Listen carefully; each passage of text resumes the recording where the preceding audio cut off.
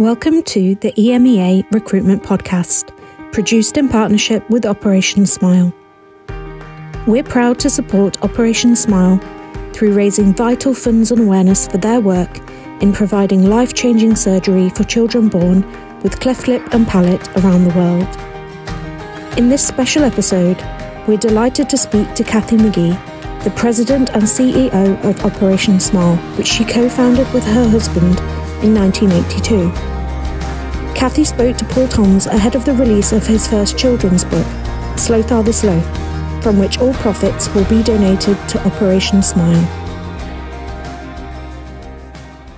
So, hello everybody. Welcome to the next episode of the EMEA Recruitment Podcast, sponsored in partnership as, as ever with uh, our good partners over at Operation Smile. And uh, delighted to welcome Kathy Magee onto the show. So, a very, very special guest uh, we have today. So, hopefully, you can still hear and see me okay, Kathy.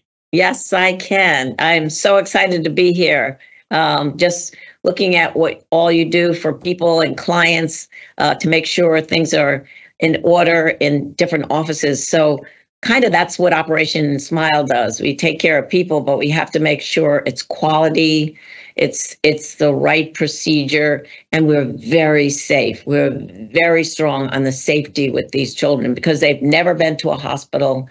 The families have never been in, so they're they're afraid of what's going to happen, and that our teams are so great. We put our arms around these children and their families and take care of them to the best of our ability. So I'm so glad to be here today. Oh, it's excellent. And I've got to say, we're, we're probably on our 200th uh, episode of the podcast show. And uh, I'm never normally nervous before, before coming into a podcast. But today, I, I, think I am a bit. I mean, obviously, a little bit in awe of what, what yourself and your husband have done, uh, you know, with the charity and how you've all started it and where, where it is today. And these are obviously all things that will come up in the in the line of uh, questions uh, today. So I'm really looking forward to it. And again, uh, yeah, huge thanks for spending the time with us today to go go through these. And um, think that the first question that I ask every guest coming on to the, the podcast, given that you know the show is in partnership with uh, your Operation Smile, uh, is that you know what was the last thing that made people smile? So I thought actually that it would be a bit crazy not to ask you this question, given uh, given the company you founded and so on. So what was the last thing that that made you smile, Kathy?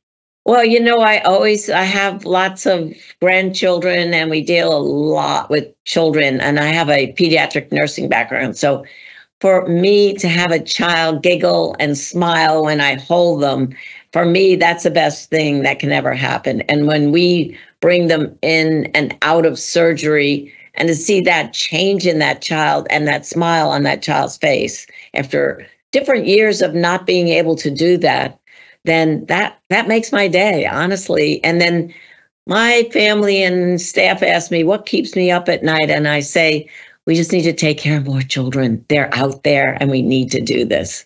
So that smiling on that child's face is so important to me. Uh, that's it's it's great to hear, and I, know obviously uh, coming up here, with, there's a few questions aligned to the missions that you guys do, and the uh, um, yeah the, the, the great work you do, but also some of the challenges associated with this uh, as well. And um, I mean, I know obviously this is um, you know looking back quite a while ago now when you started Operation Smile, but to, today you, you look and see what it what it's like, what you've achieved, and I thought I'd ask you what it feels like to be mm-hmm. uh, in in this position now in the in the business. Well, you know, we slowly have taken steps forward, right? We see a problem. How do we address a problem? And so for me now, I can actually address the problem and say, we're going to take care of that problem, whatever that may be. Um, and I we are talking more about getting closer to the patient. This is so important because we see families all the time. They don't have any shoes on their feet and they will walk for miles and miles and days to get to us. So I can make these decisions saying, okay, let's take a look, not just at doing the surgery for that child. Let's look at that whole family and look at the needs and get out to where the people are. So I can make decisions now that I could suggest before, but now I can say, all right, let's get the team and let's see how we're going to make it happen. So that that's been a great thing. You know, it's a lot of responsibility because you know it's a life that you're actually changing. you know, how many times do we get to be able to change a child's life?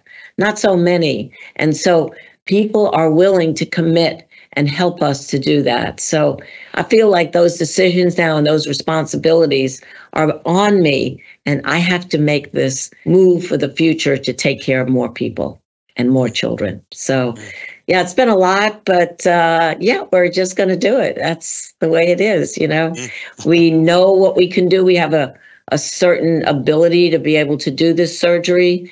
And we know there are lots of children out there with, you know, a cleft lip and cleft palate. It can be changed. They can have a life. They can eat, they can speak, they can go to school, they can, you know, have friends and not be made fun of. This is a big deal for a child. So I feel like we have that. I now have taken the responsibility to make sure we do more and we get to more children. No, and it's I say, I mean, obviously, as someone who was born with cleft lip and palate myself, uh, you know, in in the UK here, you know, I mean, obviously, you know, we take it for granted that these operations are available, and and don't really think uh, too much uh, about them in in the developed okay. world. But in the developing countries, you know, the the the, the skill set just uh, isn't there largely. And I think, as you mentioned there, someone's someone's life can be quite a miserable existence if if they don't get this uh, situation mm-hmm. uh, worked on. And so, yeah, I think as you you as you mentioned in in the answer to the first question, you know what makes you smile is seeing you know the smile and laughter with the, the children and that you're helping the people around you, and and it's so giving the gift of the smile to children. I mean, it's uh, you know it, it, doesn't get much better than that, I guess. Uh, you know, for in terms of uh, job satisfaction, I suppose, if you want to put it that way. you know, I agree with you. We we take certain things for granted. You know, in our developed countries in Europe, in the United States, you you know get an appointment, you go to a doctor. That is not happening out there in probably 85% of the world. And so, you know, we feel like we're privileged to be able to help to change that ability to get some medical attention, to have a healthier life. Um, it's it's a lot going on, but we're going to try to do it so we train the people, whether it's anesthesia, pediatricians, we train change the whole team and train them so that they can do more in that um, uh, district hospital, we're calling it. Mm-hmm. And I mean, I guess you know, taking you back to 1982 when you you decided to, to start the business. Uh, you know, I think uh, you know, obviously, you know, starting business with you with your husband, Dr. Bill Magee, and and and I guess you know, the question that I had is why specifically uh, cleft lip and palate. Was was there any reason behind this uh, specialism at that time? Well, I have a pediatric nursing background, and my husband is a pediatric plastic surgeon.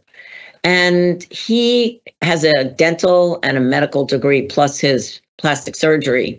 So he concentrates on, on this area of the face and he knows the dental, he knows all that area from having the dental background. And so he started, you know, here in the United States with a practice. So he got very good at, you know, taking care of cleft lip, cleft palate.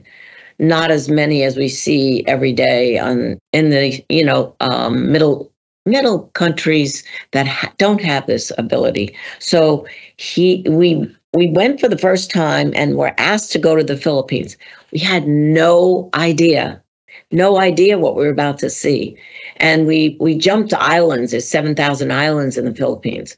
So we jumped islands, took care of kids, cleft lip, cleft palate, and it was fast. And uh, the last island we were in, honestly, we there was 15 of us. We were overwhelmed.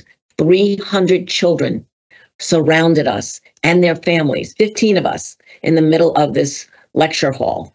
And, you know, we were literally in tears, the 15 of us, because we knew we couldn't touch it, couldn't even touch it. So we said, well, let's organize, let's do the best we can and uh, take care of as many as we can. And that trip alone, we just did 40 out of all those kids. So, you know, for us to leave, it just didn't feel good because we knew we could take care of it. And that's where we really started saying on the plane back, what could we do to really go back, we thought, and just finish those children? And here we are 40 years later. I mean, uh, we had no idea all this, all of the cleft lip and cleft palate all over this world. Uh, so that really got us started. And also at that time, because I have the five children, I took our oldest daughter out, Bridget, and I taught her how to scrub in an OR. I have no idea. She was 13 years old. So I just say to everybody, get your kids moving because they're so capable. and um, my husband said, okay, good. Put another table on and I'll have Bridget be my scrub nurse. And so we were able to do instead of three tables, we could do four. And we did an extra 15 children at that time. So kids, they've got it. They will do what you show them how it can be done, and they do it very, very well. So I say, get your kids involved. It was so important for us because now schools started clubs in country, in the US, in Europe, and those students are very important to us. They are, first of all, they're a future. Second of all, they're very capable on these teams and they teach these kids important things. How do you take care of your teeth? What do you do if you're dehydrated? All these things. What do you eat so you're healthy? They are very capable. And we say, just get those students involved. Mm. So, anyway, that trip, we learned a lot the first time and tried to move forward. And then people started asking us could we go to Kenya? Could we go to South America? Could we? And we kept saying, oh, okay. We never said no. No is not an answer in here. We would always say, well, let's find some friends. Let's see. Because we network with the Plastic Surgery Society worldwide, and we had friends from living all over the world. So we started really pushing on these different countries and saying, here. And once Somebody else went, they told their friends. They said, hey, this is the best thing to do. You were very good at cleft lip and cleft palate. Let's go. You can go to this other country with me. So now we have 6,000 volunteers ready to go. And so for us, that's so important. Best volunteers, we credential them, whether it's the surgeon, the anesthesia, the intensivist, all those people, biomed, uh, nobody thinks about them, but if we don't have our equipment working, we're in trouble. So we always have a biomed person on our teams. So anyway, it's a team of a strong five that we always put on these sites and make sure it works to the best of the ability for these kids. And I mean, you mentioned there the, the benefits that the children get from being on these on these missions, uh, and and I think that that's even more exaggerated in, in the modern world that we're in now. You know, I mean, because obviously yeah. it's such a, you know, there's so many, so much emphasis now in, in front of the screen. Uh, you know, taking people away from, you know, really building what you class as uh, real relationships, it's very easy for children to stay in front of a screen all day and uh, and yeah. uh, not really notice, uh, you know, that they're not communicating with real people. But this way, it's not only they're communicating with people; it's very emotional uh, as well, and and it, it kind of builds their strength on the emotional side and the empathy side, and uh, and, and and gratitude as well. I would say is a big mm, part yeah, of that. They need to be grateful for what they they have. So there's a lot that children are going to are going to get from this. And, and kind of this is leading me on to my next question because I know that, that your, as you mentioned earlier, your family are, and children are very involved in uh, in Operation Smile. I mean, you you so you have five five children, uh, fourteen grandchildren, and and mm-hmm. that largely all of them are pretty active in in the uh, in the Operation Smile business. And I was going to say, you know, what what impact uh, has I guess being a, a mother, being a grandmother, had on how you've shaped Operation Smile as business? Because I, imagine it's had quite a large impact on that. You're working with children every day, your family a big part of it. But you know, do you think there's anything specific that you know that, that jumps out to you as the impact that you know having five having this large family is and uh, being involved in, in, the family business has really had on on the company and so on? Uh yes, I I, I don't. You know, we never really um thought about saying, "Oh, hey." Uh, to our kids, hey, maybe in the future you'll you'll come in and help us out. But what we did was we had patients. If we had a, a larger craniofacial case, we couldn't do it in country. We had to bring it to the U.S. or to Europe. So we would have those patients living in our house. And so my kids would say, well, where, where are they going to sleep? Uh, I'd say, well, how about your bed? And so they would have to get out of their bed. I'd give them the room. I said, don't worry about it. We'll fix everything later. And then a couple of them, I said, well, take them to school with you. They were like, whoa, what are you kidding me? and because they had, you know, either tubes in their nose or something like that, and they were, no, I'm not. Ta- oh, yes, you're just going to be fine. I called the headmaster. They're totally fine. Bring that student. Some of them were, you know, like 14 years old. Some of them were younger, and they took them to school with them. And the school was excited. The kids there were excited. So actually, they were rewarded for doing that.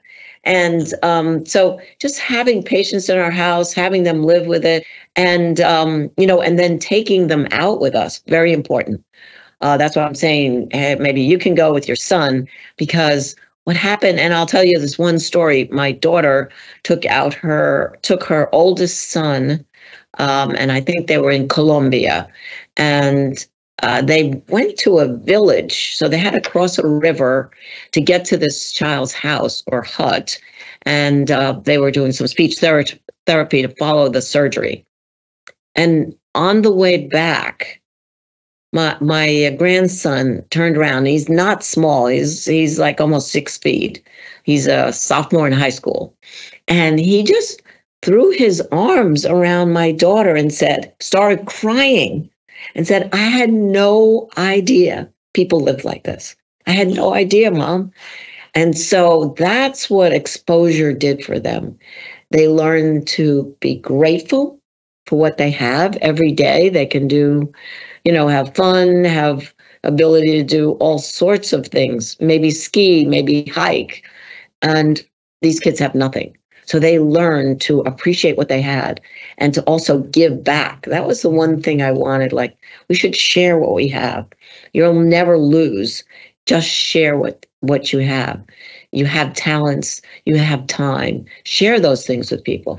And so it got to be a big family piece and everybody is involved. And I have never asked my kids to take a position or do something. They have always volunteered to do it because they live with it. I think they just lived with it and they just got involved and saw the needs and they took special things that they could do to make those changes.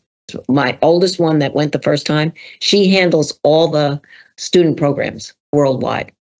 That was 40 years 40 years ago. So she's 50s um, and she's still doing it. So you realize what you can do and you realize you can give back and you realize you're changing a child's life, but you're also changing this world to be a better place to be. So we learned a lot by doing this. And uh, yeah, it's a great family activity.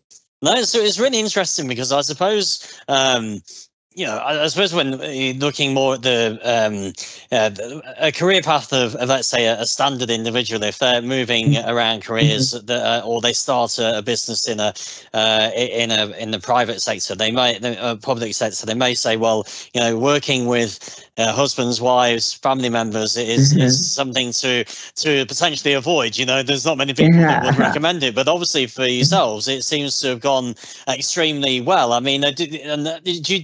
Do you think that you could you imagine Operation Smile without having your your family involved? Um, I really, I don't. I really think it was something that we could all do together, right? There are some things you can do together. Um, I don't know, it could be cooking, it could be hiking, but this thing we can do together. And you know my kids are everywhere. There one is in la one is in colorado one is in utah. So we can still all do something together. And so um, you know we we did learn a lot by doing this. And i have to say you have to realize what your talent is right?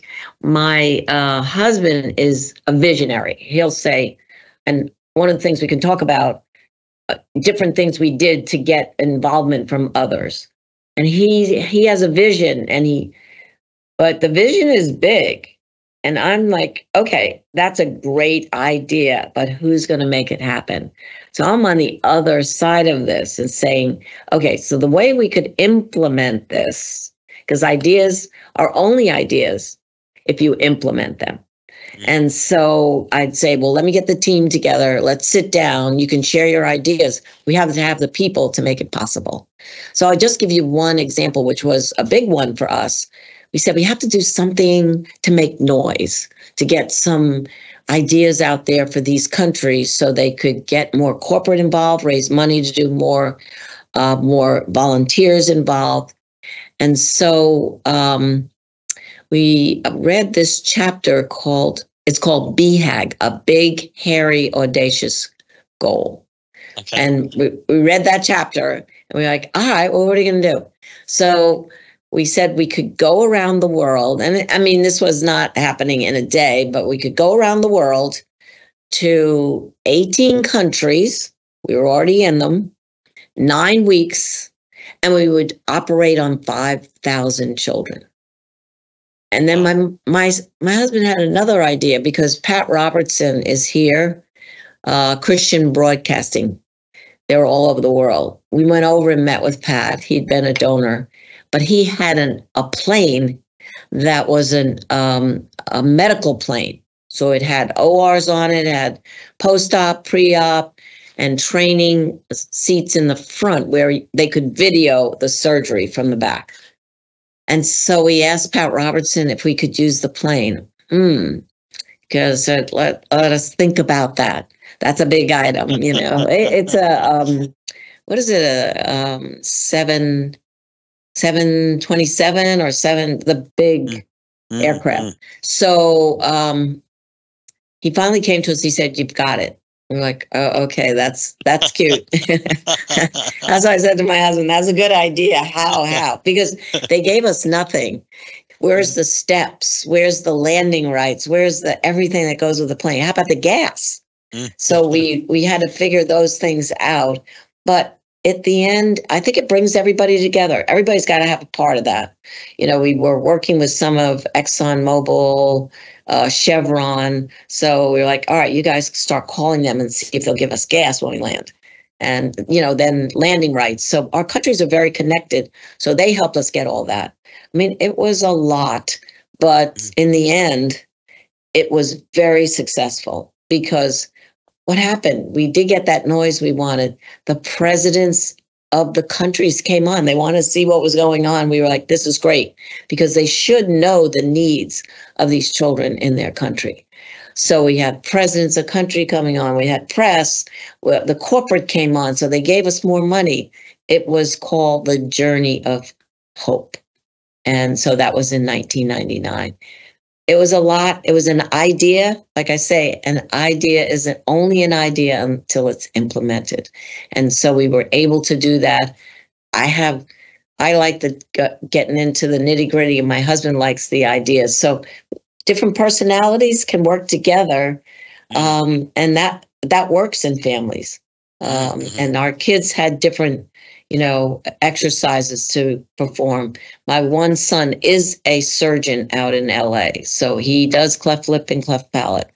You know, he can join. My other son's a businessman. My other son's a surgeon. The, the girls have their um, backgrounds in nursing and psychology. So everybody could join and make this possible. It was in, extraordinary. Actually, we can send you the clip on that, and you might pop that clip on because you can see the presidents coming on or people lining up to get on.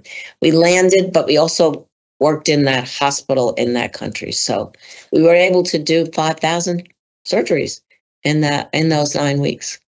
Wow, so it's do really those big, hairy, big, audacious big goals. goals. Yeah, yeah. yeah, yeah, big goals. Yeah, that was a big one. It. Yeah, yeah, that's it. It's because uh, I mean, I think you know, you mentioned a bit about having these these big goals and and and president working with presidents of different countries, and and I think I guess if you needed any uh, uh, any clarification that you were doing the right thing, you know, obviously 2009 winning one of the America's best leaders from President George W. Bush at that time. I mean, that must have been um, um yeah, pretty pretty crazy year for you, I guess. You know I mean, it's kind of it just proof that you're you're doing the right thing, if you like. Yeah, I mean, the awards are something. I mean, it, it was a pleasure being with the Bushes because, you know, they're a family. Senior Bush, Junior, they're they're a nice family and they work together. So, you know, I think maybe them seeing this and seeing how we're bringing the world together um, was the credit that we were able to get that award. So it was everybody, though, I can tell you, that created a ruckus around the world. But everybody jumped in and it was great. Everybody felt good about it, right? We took care of 5,000 children in those nine weeks. It's a, it's a lot of surgery, and we have to be very careful. It was all safe, quality work, and that's what we're we're really focused on. That we will not just take anyone uh, on these teams. They're, they are searched out and they have definitely had experience with doing a lot of cleft lip and cleft palates. I mean, is it, is it quite challenging to keep manage the emotions and the emotional side of things because well i know i've, I've heard i've watched an interview with yourself and bill talking about the strong emotions you, you go through um, you know uh, when you're going on the missions but also uh, running the, the business. And i think you know obviously because it's something you're very passionate about it's something where there's so many emotions not just for you your family but the the patients their families with everybody involved. Such emotions that you know when you're looking at the business side you know you mentioned it it's, i mean it's not not easy to get these things going. You know, the, these kind of things you've done. You know, uh, the, the, you've given the the highlights of, of of what you achieve, but I guess getting up to that point, there's a lot of things that, that don't work out. You know, you you want things to get from A to B as quickly as possible, and if it was easy, everybody would do it. But it's not easy to do it. So does it make the emotions even?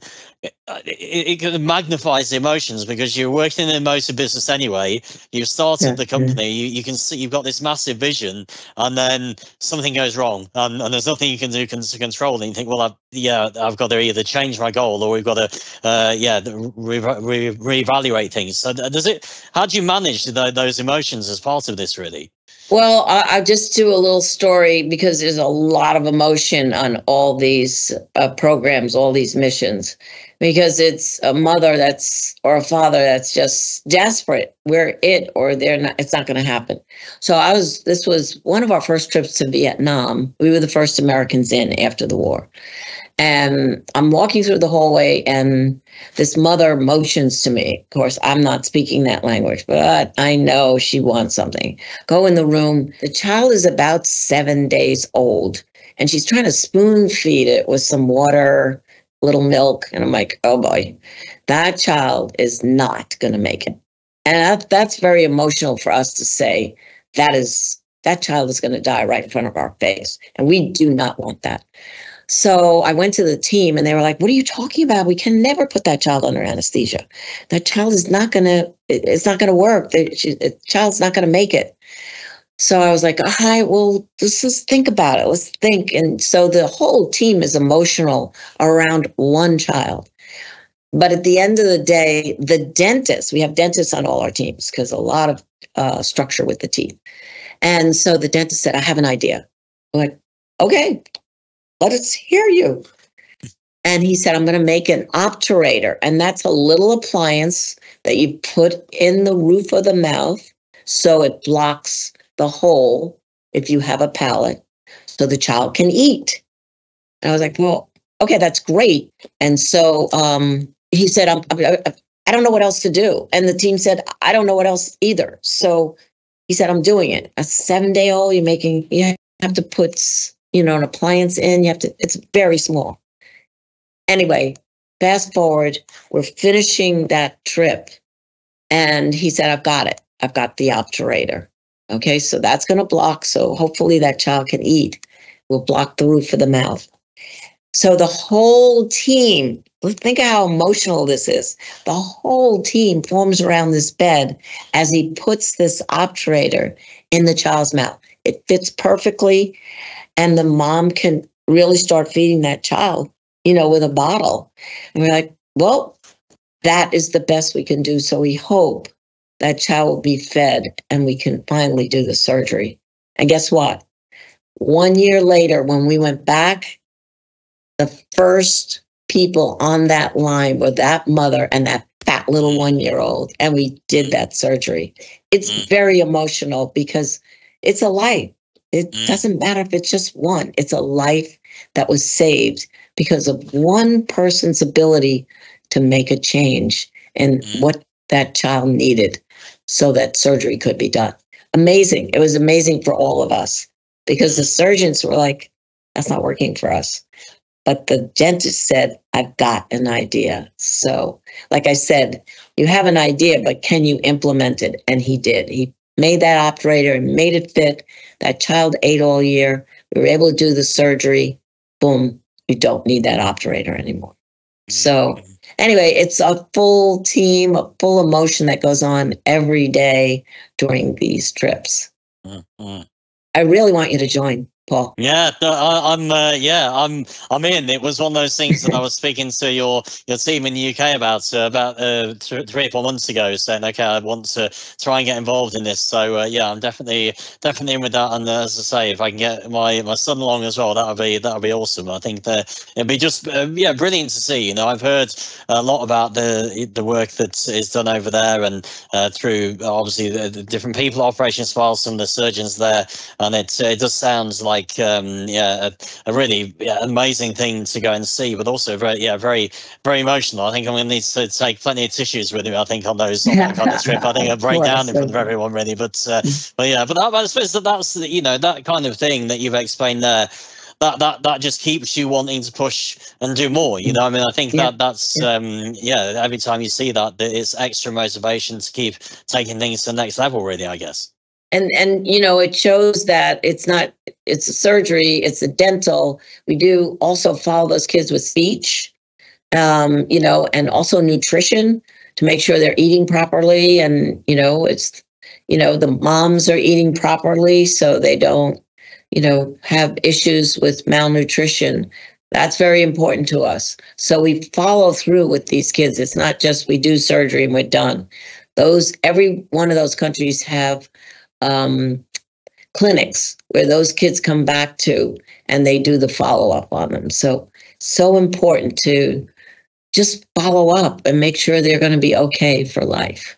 And I mean, obviously, you mentioned uh, earlier on about the you know the, the great team that you have, the volunteers that are involved. Mm-hmm. But I, I mean, I, I am guessing here, but I guess there's the you could you could always do with more volunteers. You know, I mean, I suppose on every mission you go on, you, know, I, suppose unfortunately you can't help everybody on every mission. There's always going to be people that you run out of time or resources to be able to help. So the more the more mm-hmm. volunteers, the skill set you have mm-hmm. in, and, and fundraising and so on, it, it's always going to be you know beneficial. You know, to keep that that mission moving forward. Really. Mm-hmm. Yeah, I'm. The volunteers are they're key. If you when we take say yourself and any donors on a trip, they look at the surgery that's being done. Right, that child has a life, but they say your volunteers are incredible. They are take care of their children like their their own. They pick them up, they hug them, they make sure they're comfortable. This is a scary spot handing your child into an operating room that you've never seen before. And they trust. It's a lot of trust that they give us. And so we have to do it the correct way.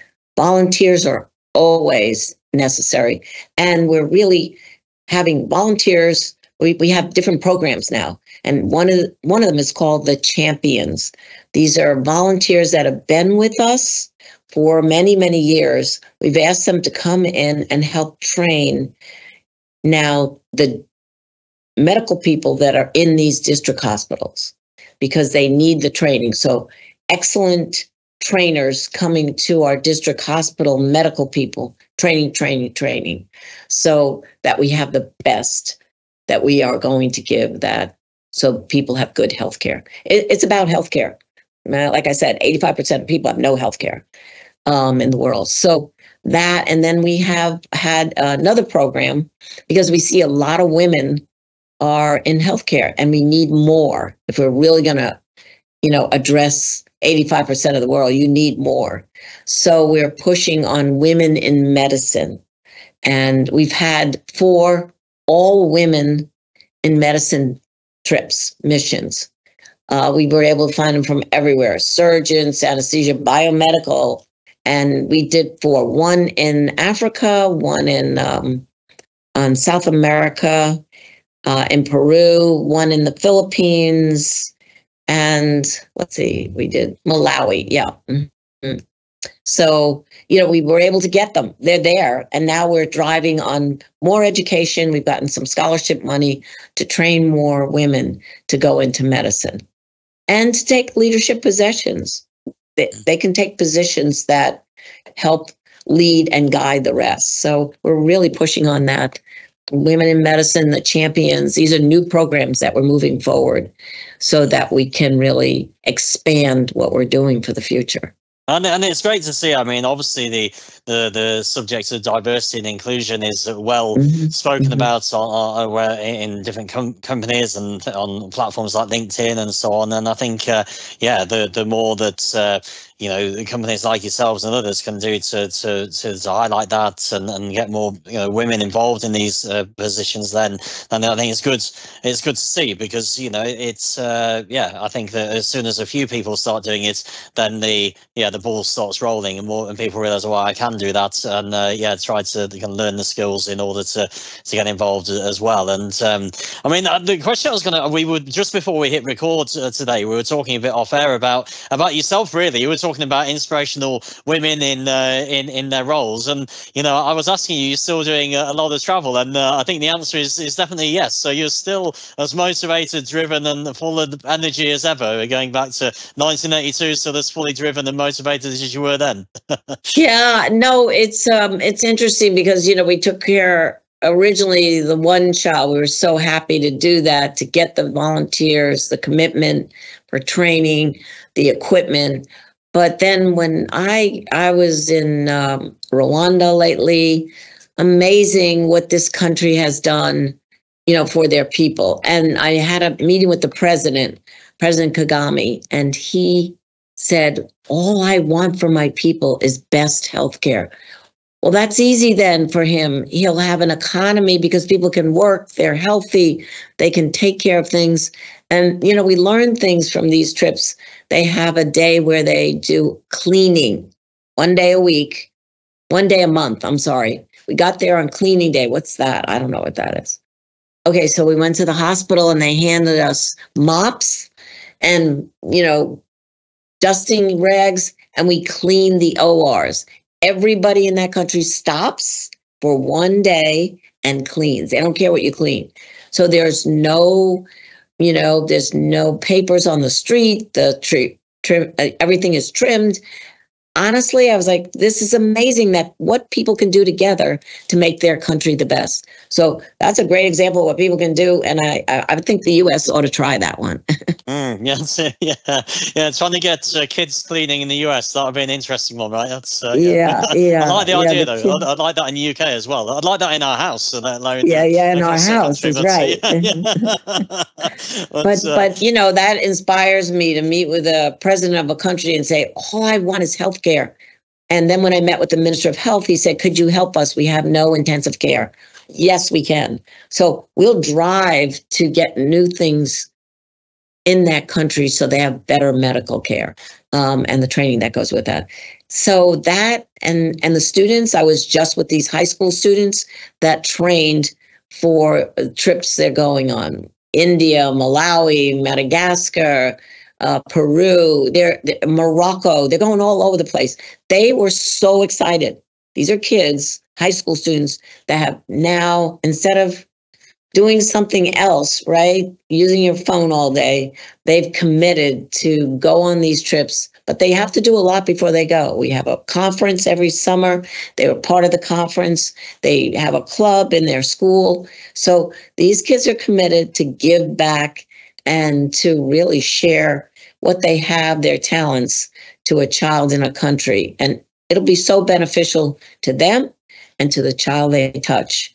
Um, we had a, um, a staff who was in one of our countries and she got in we have a child life area we get the kids to start playing because they've never played before so they and we get them calm so they're ready for the or and then when the child was ready to go to the or this staff spends so much time with this child.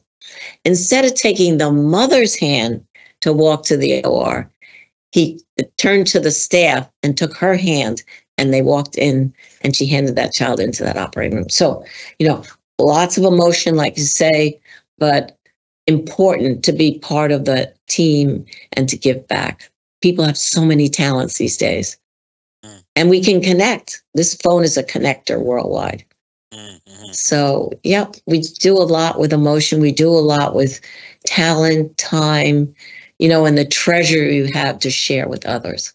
I think, I think to be honest, that's a great way to to end the show, really, I think I can't think of other, other quotes uh, to finish on, really, Kathy. I think, and, and just to say a huge thank you for your your time today. I know that you're really busy. There's a lot of things going on, and yeah, really appreciate the time you spent uh, with with myself. I know the network will take a lot from it, and and, and clearly, you know, we're, we're helping to promote the book, the Sloathar the Sloth book as well, which uh, with, uh, which I've written for uh, for Operation Smile, and uh, and I know you've written some really nice words for the book as well, which are really great grateful for. So, yeah, huge thank you for going through all this. But more importantly, a huge thank you for really everything you've done, you know, since starting Operation Smile. I mean, the, the lives you've changed uh, and yeah. the impact you've had on on their families and and uh, and people in general. I mean, it, it's it can't be uh, it can't be calculated really the the impact you've had. So a huge thank you to yourself and to, to Bill, obviously for, for, for starting it all up and and for the impact that you've made mm-hmm. uh, across the world. So yeah, just massive mm-hmm. thanks uh, for that.